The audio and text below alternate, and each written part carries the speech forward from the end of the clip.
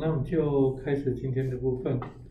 今天的那个要做的比较简单哈，因为其实那个我们今天要做的是控制系统，啊，但是控制系统大部分现在的哈，就是我们大部分要做到的都是跟 MATLAB 自己内建的工具有关，所以其实我们可以写的程式的。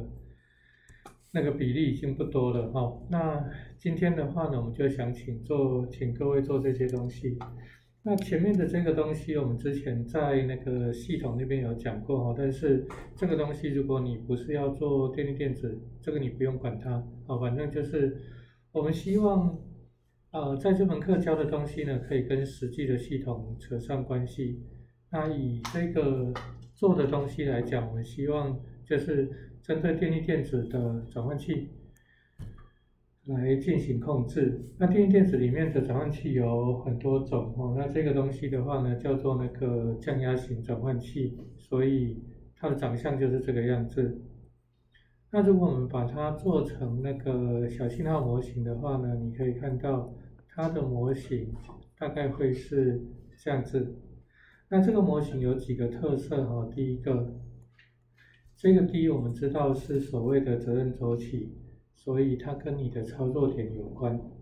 那因为我们知道那个对于 Buck 这个转换器来讲，v 2等于 D V in，所以其实它可以从我的规格得到它的所谓的偏压操作点。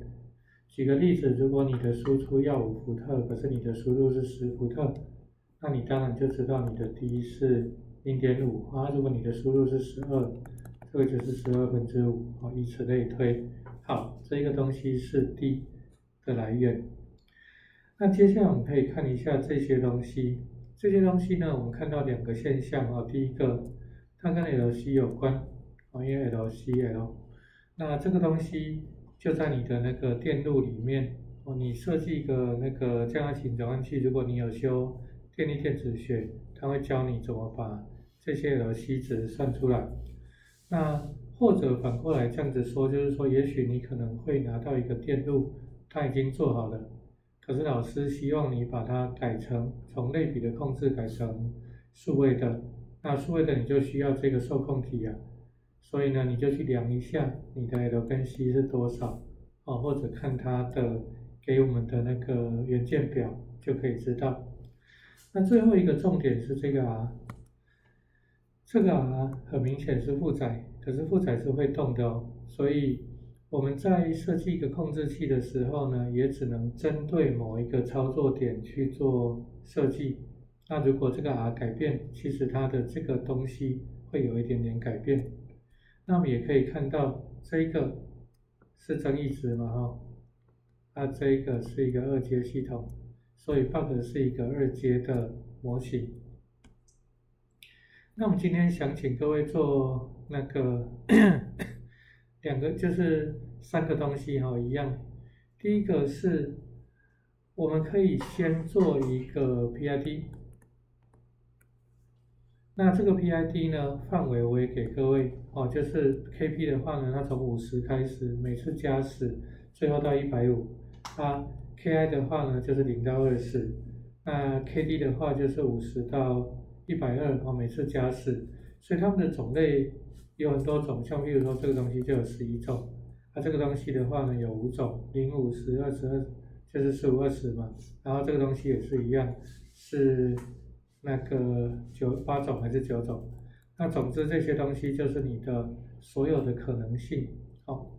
那受控体我们也给你就是这样子，s 平方加十二 s 加二十，好，所以请你第一个工作。我们之前讲过哈，请你依循就是写一个程式，啊，这个程式跟我们在上课 demo 给你看的那个程式很类似哈，就是 KP 循环十种，你看看眼睛看谁最好，他就把 KP 定下来，KI 循环五种，KD 循环八种，哦，啊，最后找到一个最好的，你自己认为最好的 KP、KI、KD，然后就给助助教看，这样就好了。那第二个 topic 的话就更简单了哈，因为我们知道之前学的那个东西，就是这个系统不是 Buck 的系统，因为我们都知道 Buck 的那个转换器这个电感啊、电容啊，你常常买到的都嘛是麦克法拉等级，这个都嘛是迷你亨利等级。所以如果这个东西一乘，哪有可能是一个这么大的数字？哦，所以刚刚讲的那个只是让你练习写一下程式哦。那你如果写完这个程式，就是可以自己去针对这个系统找 PID。那照理来讲，如果我之后给你 bug 的那些元件，你应该也可以针对那一个 bug 去找 PID 啊。那但是你要针对那个 bug 去找 PID，这个范围又该是多少呢？自己可以想一下。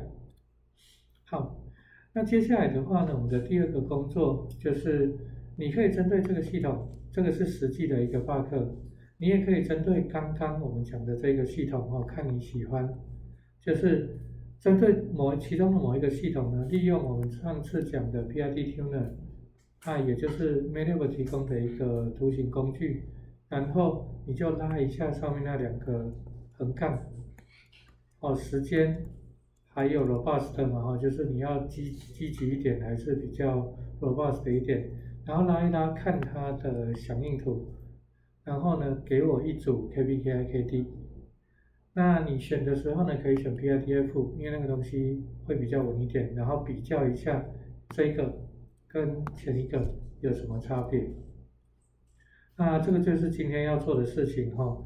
那那个 Topic 三也很简单，Topic 三的话呢，我们知道上次教的，除了我自己用程式硬去找，这是一，就是用程式，跟我用 PID Tuner，这叫程式，就是第二种方法。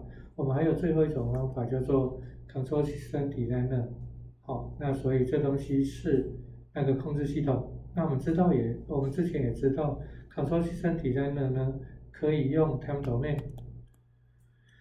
就是 PID 的设计，或者是 S Domain，就是像这一种频率的设计。好，那我们上次有教过 Delay，那简单来讲就是你把零点几点都加上去，然后自己就在那个 S。上面拉这两个图，那你拉这两个点，想要得到的不外乎是 gain margin 多少，base margin 多少，所以同样，啊你也可以看到它的响应图嘛，所以你拉一下这些位置，看看还能不能设计出一个更好的，这就是加分题的第一个部分。那加分题的第二个部分呢，是刚刚我们既然已经用 PID tuner，哎，PID tuner。设计出 PID，那现在你有没有机会？上次我们也 demo 过，设计一个 PID 二，然后通通把这些东西拿来做比较，就是出一个简单的呃 Word 档或者是报告，哦，告诉我这样子做好处坏处是什么？这样子做得到什么结果？这样子做又会有什么样子的优缺点？还有这样子做，那跟那个 Manable 在提供那个。呃，示范档一样哈，你就是把那个步骤稍微做一下，证明你有做过这些事情，那这个就可以出这个报告。好，那以上就是今天要做的内容说明哈。那今天的那个不会有标准答案，所以只要你做完 PID 的程式，还有 PID 的那个拉完那个就是那个 bar，然后给我们看到数据哈，你就可以直接请助教来帮你看一下。